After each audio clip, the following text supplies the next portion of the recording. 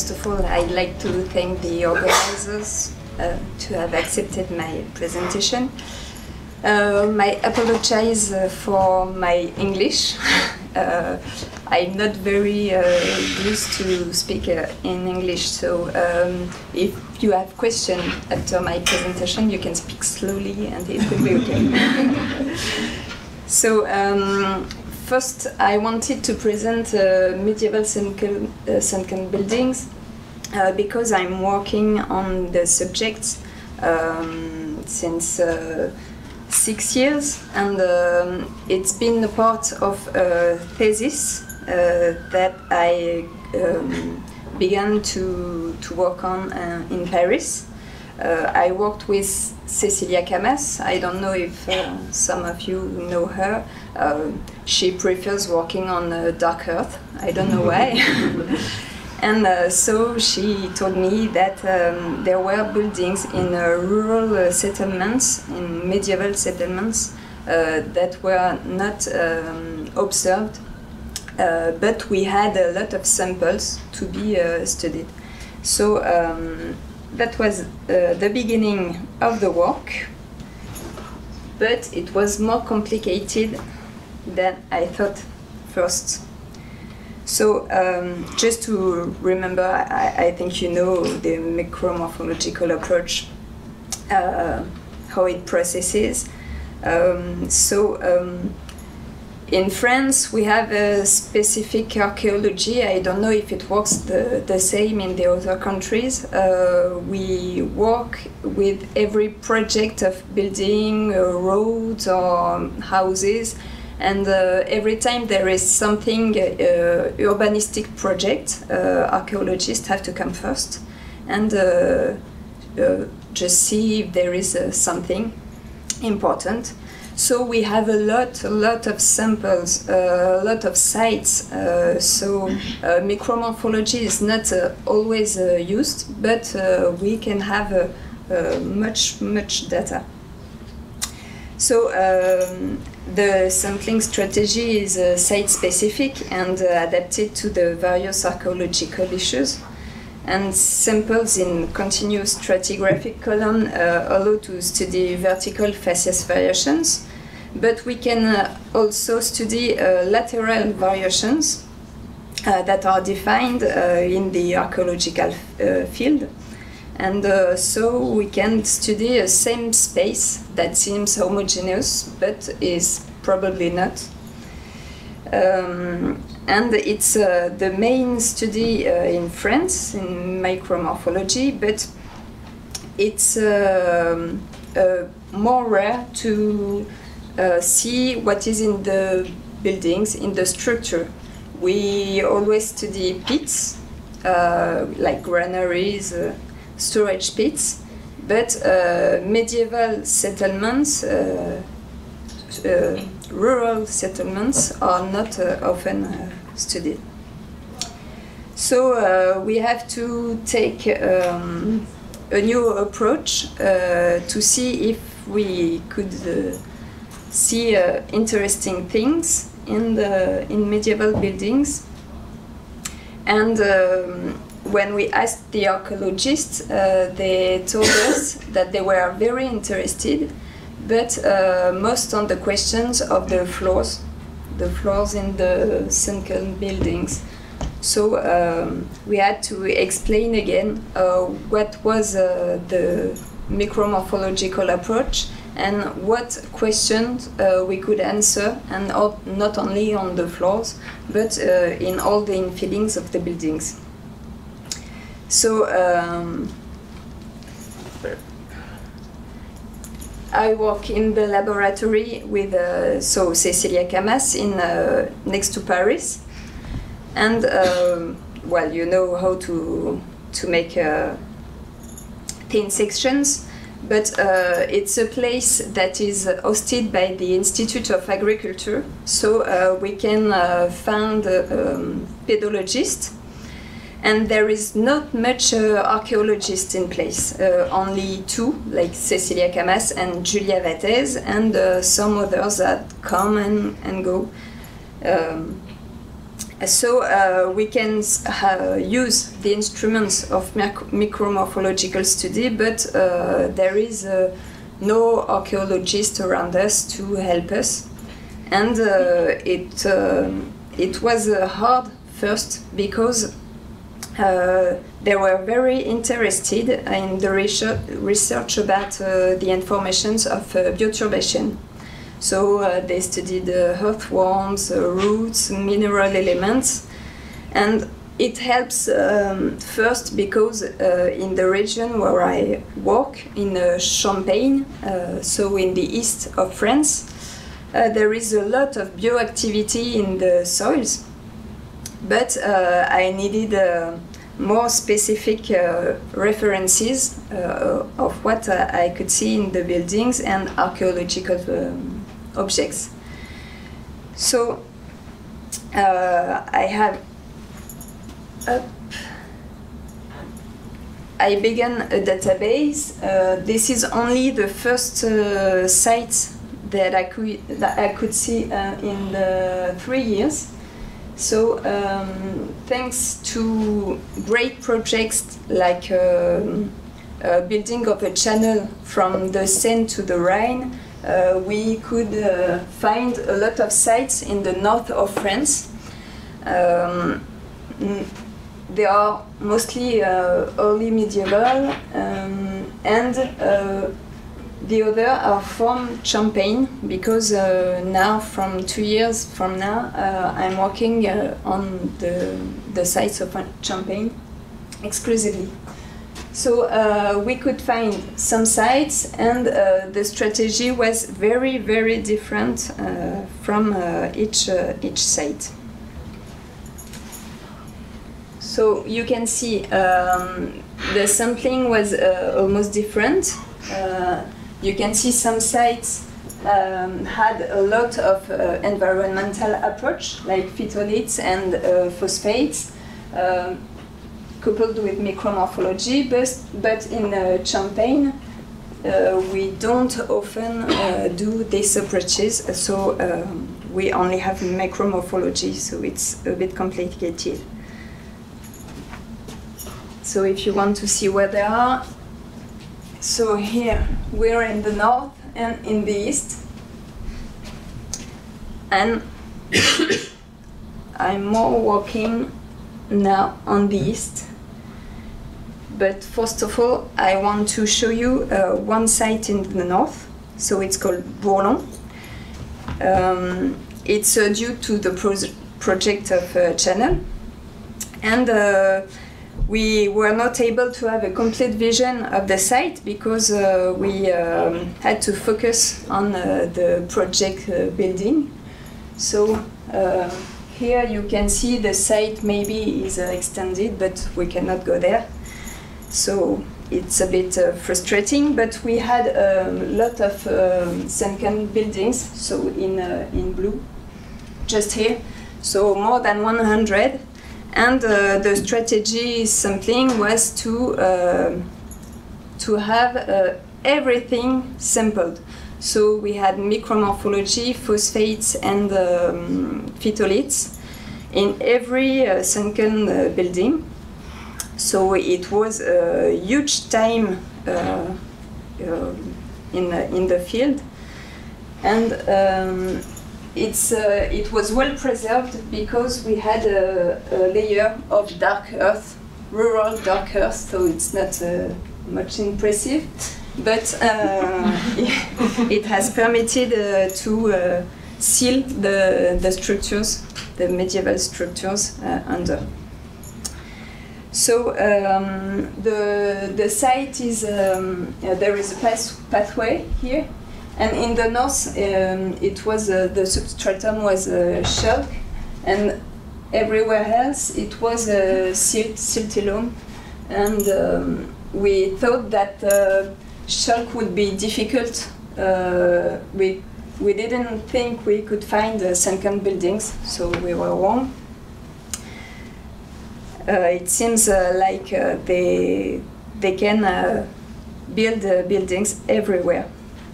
So the strategy sampling, yes, there was geophysics and uh, archaeomagnetism for combustion structures. Uh, there were uh, combustion structures in the sunken buildings, but it was uh, just a few. And so the idea was to answer the question um, the nature of the fillings, the post depositional processes, and if we could see uh, what, uh, what use uh, we could we could see for these structures because there was 100 everything was homogeneous and uh, we didn't see any difference between uh, the structures. They all had uh, two post holes and uh, very all, all, uh, all, the same. So um, this site is uh, from the 6th century to the 10th century.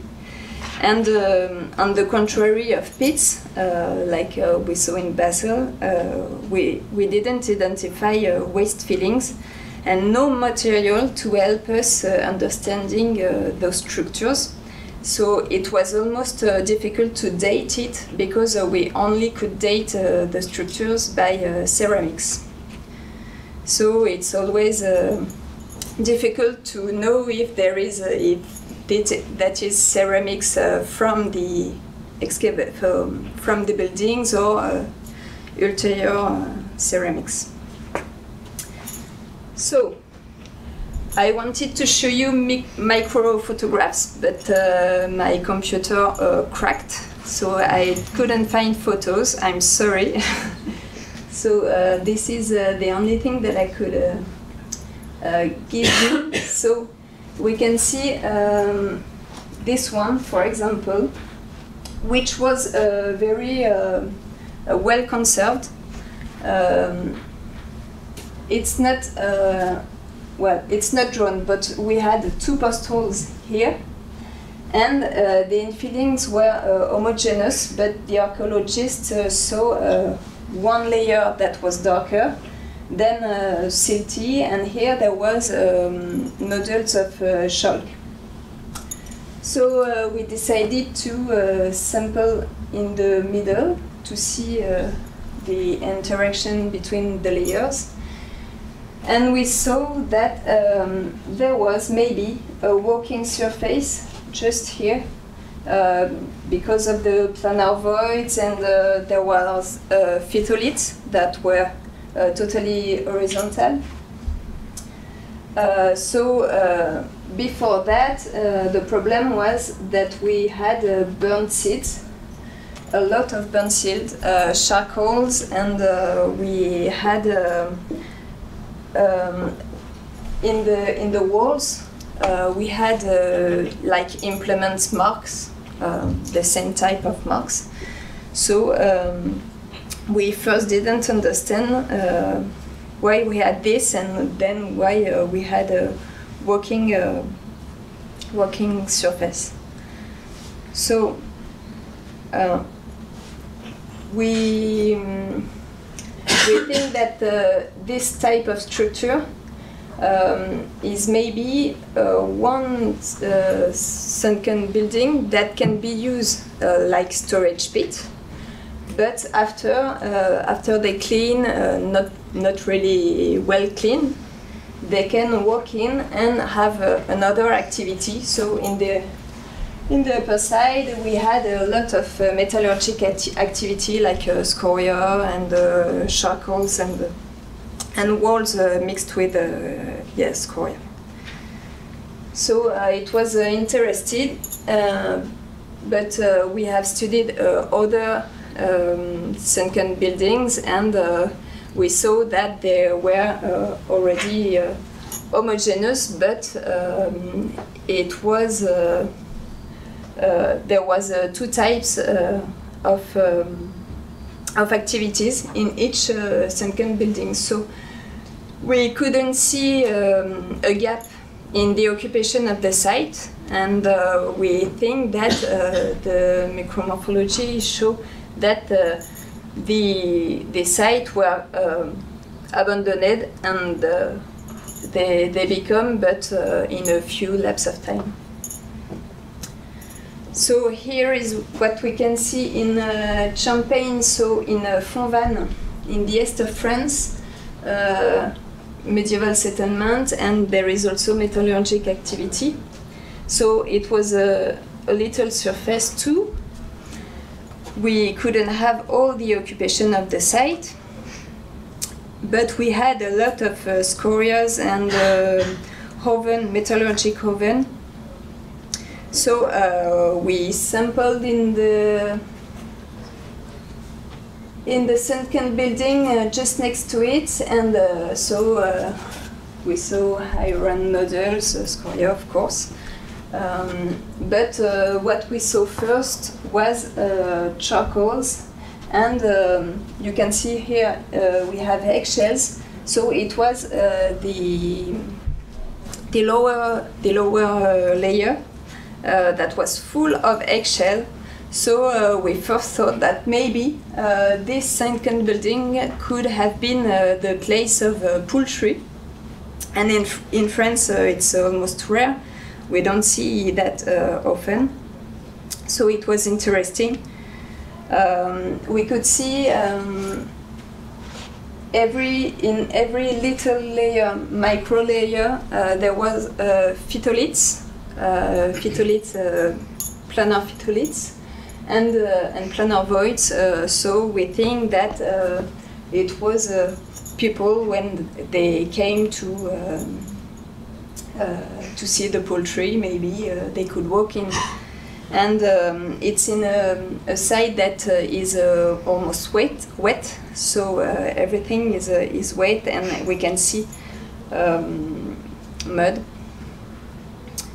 And we had also in um, in this the thin sections uh, of um, we can see um, daub, daub and mud bricks. Yeah.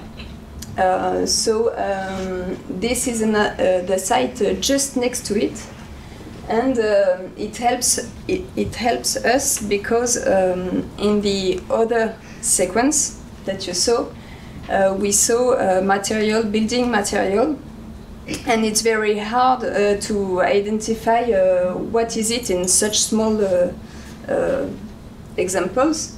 So here we could find real, real fragments of, of daub and mud bricks, and we.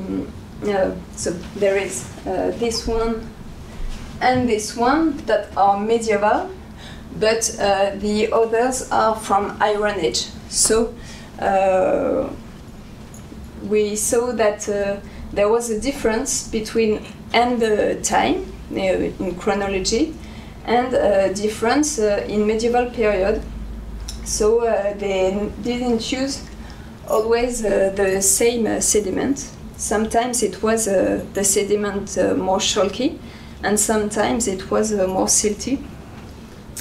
And it helped us to, uh, to have uh, data and to make uh, references to, um, to what uh, can be used to build uh, structures like this with walls and roofs because we only have, only have uh, the, the sunken structure.